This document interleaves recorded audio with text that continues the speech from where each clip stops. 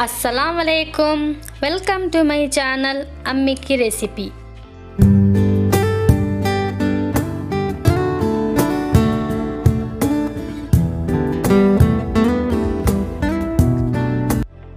आज हम बनाएँगे इंस्टेंट पोहे का मिक्सचर पोहे का मिक्सचर बनाने के लिए जो सामग्री चाहिए, वो है पेपर पोहा, यानी कि थिन पोहा.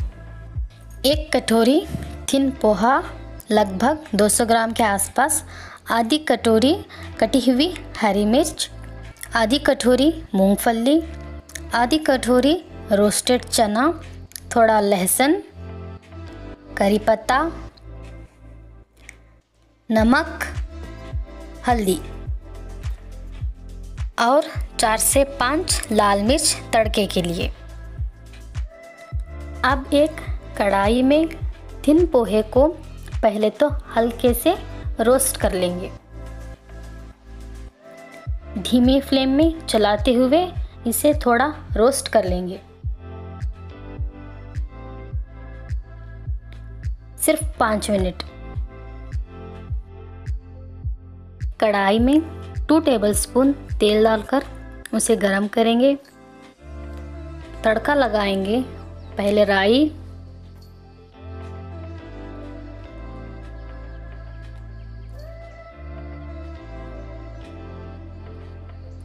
कड़ी पत्ता डालेंगे।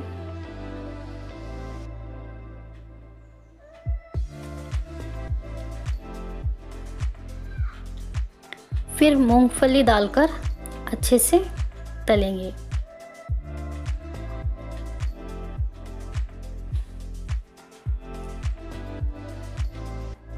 हमें मूंगफली को अच्छे से तलना है।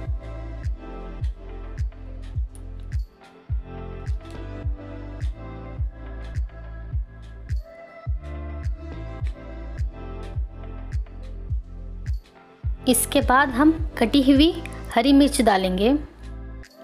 हरी मिर्च को भी अच्छे से भून लें। रोस्टेड चना डालेंगे।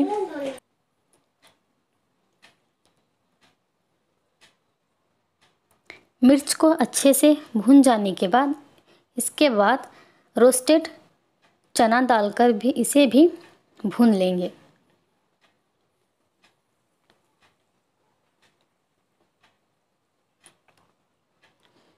और चार से पाँच लाल मिर्च डालकर इसे भी भून लेंगे।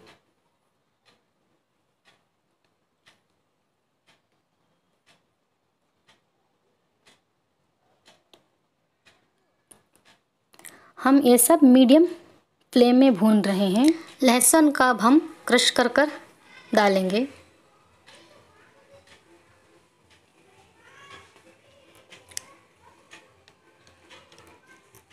अच्छे से तेल में भून लेंगे।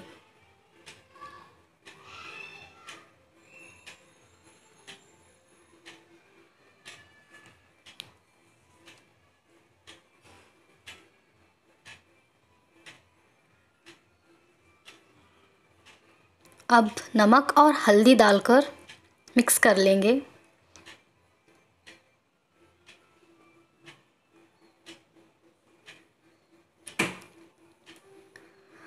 अब इसमें रोस्टेड पोहे को डालकर मिक्स कर लें।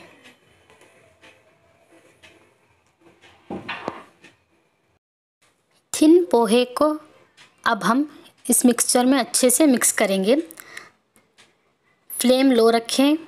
अच्छे से मिक्स करने के बाद हम फ्लेम को अब ऑफ़ कर दें।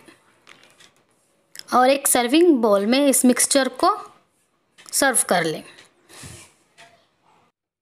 थिन पोहे का मसाला मिक्सचर अब बन के तैयार है।